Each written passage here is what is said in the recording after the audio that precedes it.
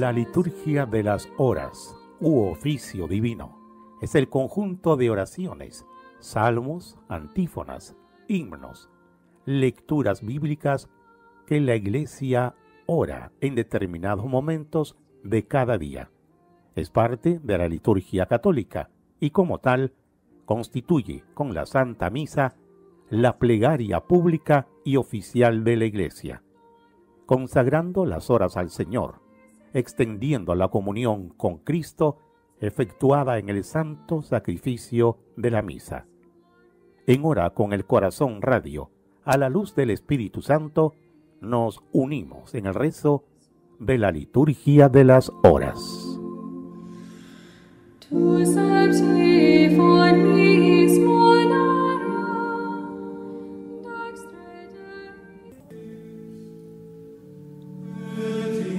Sábado 8 de junio del 2024.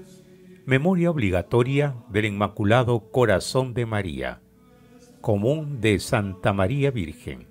Salterio correspondiente al sábado de la primera semana del tiempo ordinario. Oficio de lecturas. Señor, abre mis labios. Y mi boca proclamará tu alabanza. Venid, Adoremos a Cristo, Hijo de María Virgen. Antífona del Salmo 66. El Señor tenga piedad y nos bendiga, ilumine su rostro sobre nosotros, conozca la tierra tus caminos, todos los pueblos tu salvación. Venid, adoremos a Cristo, Hijo de María Virgen. Oh Dios, que te alaben los pueblos, que todos los pueblos te alaben. Venid, adoremos a Cristo, Hijo de María Virgen. Que canten de alegría las naciones, porque riges el mundo con justicia, riges los pueblos con rectitud, y gobiernas las naciones de la tierra. Venid, adoremos a Cristo, Hijo de María Virgen. Oh Dios, que te alaben los pueblos, que todos los pueblos te alaben. Venid, adoremos a Cristo, Hijo de María Virgen. La tierra ha dado su fruto. Nos bendice el Señor nuestro Dios. Que Dios nos bendiga, que le teman hasta los confines del orbe. Venid, adoremos a Cristo, Hijo de María Virgen. Gloria al Padre, y al Hijo, y al Espíritu Santo. Como era en el principio, ahora y siempre, por los siglos de los siglos. Amén. Venid, adoremos a Cristo, Hijo de María Virgen. Himno. María, pureza en vuelo, Virgen de vírgenes, danos la gracia de ser humanos, sin olvidarnos del cielo. Enséñanos a vivir. Ayúdenos tu oración. Danos en la tentación la gracia de resistir. Honor a la Trinidad por esta limpia victoria y gloria por esta gloria que alegra la cristiandad. Amén. El que se haga pequeño como un niño, ese es el más grande en el reino de los cielos. Antífona del Salmo 130. Señor, mi corazón no es ambicioso, ni mis ojos altaneros. No pretendo grandezas que superan mi capacidad, sino que acallo y modero mis deseos como un niño en brazos de su madre. Espere Israel en el Señor, ahora y por siempre.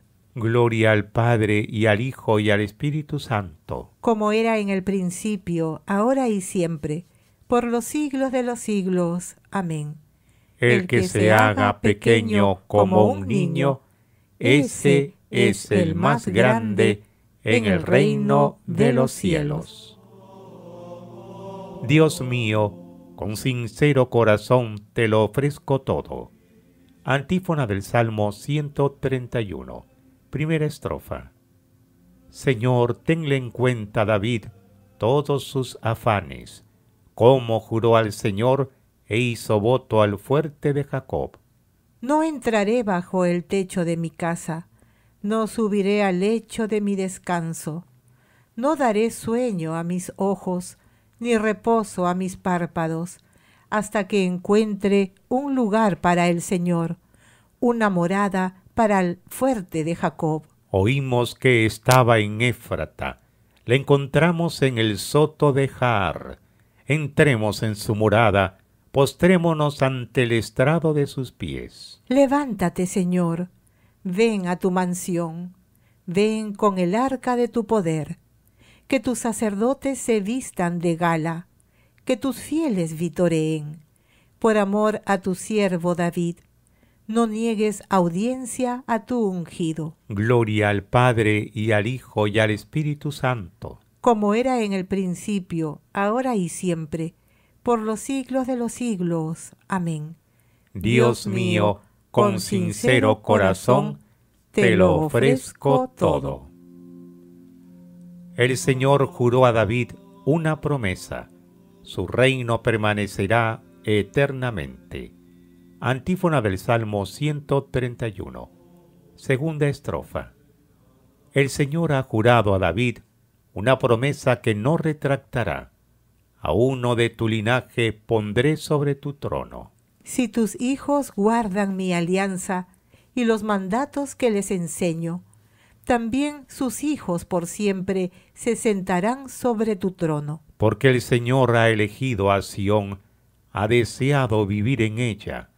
Esta es mi mansión por siempre, aquí viviré porque la deseo. Bendeciré sus provisiones, a sus pobres los saciaré de pan. Vestiré a sus sacerdotes de gala, y sus fieles aclamarán con vítores. Haré germinar el vigor de David, enciendo una lámpara para mi ungido, a sus enemigos lo vestiré de ignominia, sobre él brillará mi diadema. Gloria al Padre, y al Hijo, y al Espíritu Santo. Como era en el principio, ahora y siempre, por los siglos de los siglos. Amén el Señor juró a David una promesa.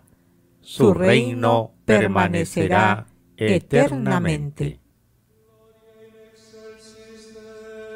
Venid a ver las obras del Señor.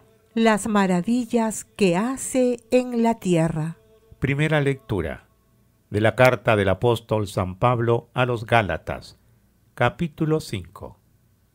Consejos sobre la caridad. Hermanos, si vivimos por el Espíritu, marchemos tras el Espíritu. No seamos vanidosos, provocándonos unos a otros, envidiándonos unos a otros. Hermanos, incluso en el caso de que alguien sea sorprendido en alguna falta, vosotros, los espirituales, corregidlo con espíritu de mansedumbre, pero vigílate a ti mismo, no sea que también tú seas tentado. Llevad los unos las cargas de los otros, y así cumpliréis la ley de Cristo. Pues si alguien cree ser algo, no siendo nada, se engaña a sí mismo. Y que cada uno examine su propio comportamiento. El motivo de satisfacción lo tendrá entonces en sí mismo y no en relación con los otros, pues cada cual carga con su propio fardo. Que el catecúmeno comparta sus bienes con quien lo instruye en la palabra. No os engañéis, de Dios nadie se burla. Lo que uno siembre, eso cosechará. El que siembra para la carne, de la carne cosechará corrupción. El que siembre para el espíritu, del Espíritu cosechará vida eterna. No nos cansemos de hacer el bien, que si no desmayamos, a su tiempo cosecharemos. Por tanto, mientras tenemos ocasión, hagamos el bien a todos, especialmente a la familia de la fe. Mirad con qué letras tan grandes os he escrito de mi propia mano. Los que buscan aparecer bien en lo corporal son quienes os fuerzan a circuncidaros. pero lo hacen con el solo objetivo de no ser perseguidos por causa de la cruz de Cristo. Pues ni los mismos que circuncidan observan la ley, sino que desean que os circuncidéis para gloriarse en vuestra carne. En cuanto a mí, Dios me libre de gloriarme si no es en la cruz de nuestro Señor Jesucristo, por la cual el mundo está crucificado para mí y yo para el mundo. Pues lo que cuenta no es la circuncisión ni la incircuncisión, sino la nueva criatura. La paz y la misericordia de Dios vengan sobre todos los que se ajustan a esta norma, también sobre el Israel de Dios. En adelante, que nadie me moleste, pues yo llevo en mi cuerpo las marcas de Jesús. La gracia de nuestro Señor Jesucristo esté con vuestro espíritu, hermanos. Amén. Lo que cada uno siembre, eso cosechará. El que siembre en su carne, de la carne cosechará corrupción. El que siembre en el Espíritu, del Espíritu cosechará vida eterna. El Espíritu es el que da vida. La carne no vale nada. El que siembre en el Espíritu, del Espíritu cosechará vida eterna.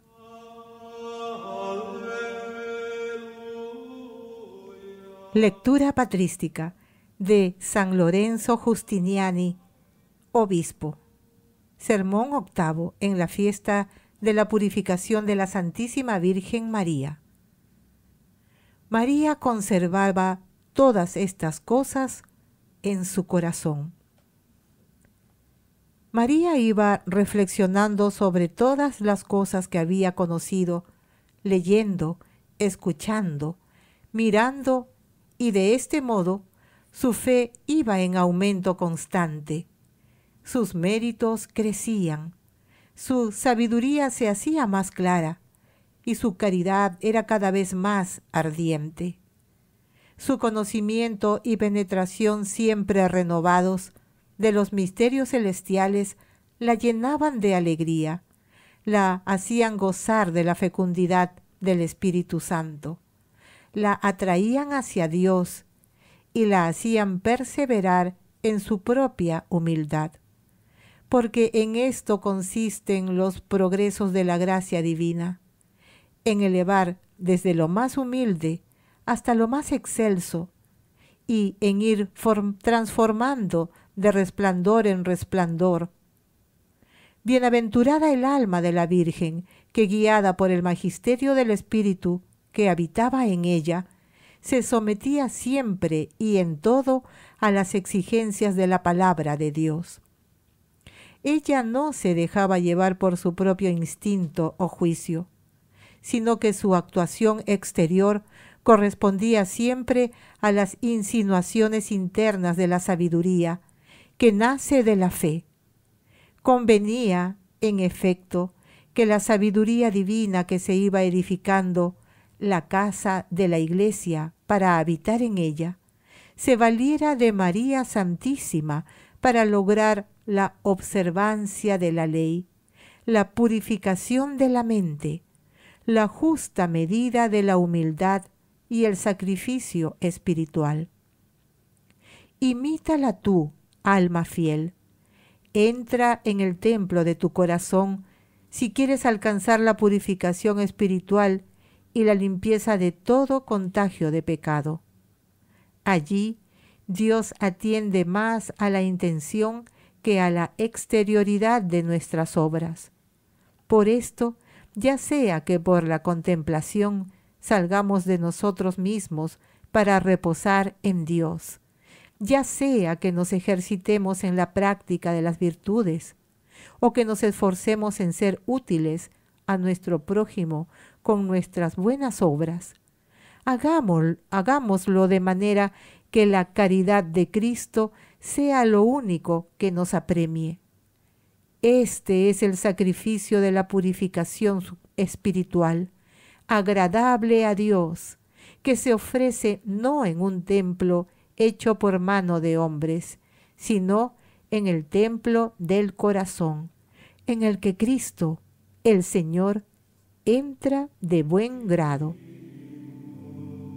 No sé con qué alabanzas ensalzarte, oh Santa Inmaculada Virginidad, porque llevaste en tu seno al que los cielos no pueden abarcar.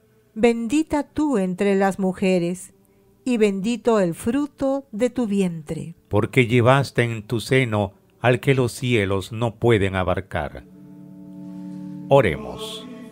Oh Dios, tú que has preparado en el corazón de la Virgen María una digna morada al Espíritu Santo, haz que nosotros, por intercesión de la Virgen, lleguemos a ser templos dignos de tu gloria. Por nuestro Señor Jesucristo, tu Hijo, que vive y reina contigo en la unidad del Espíritu Santo y es Dios por los siglos de los siglos. Amén. Bendigamos al Señor. Demos gracias a Dios.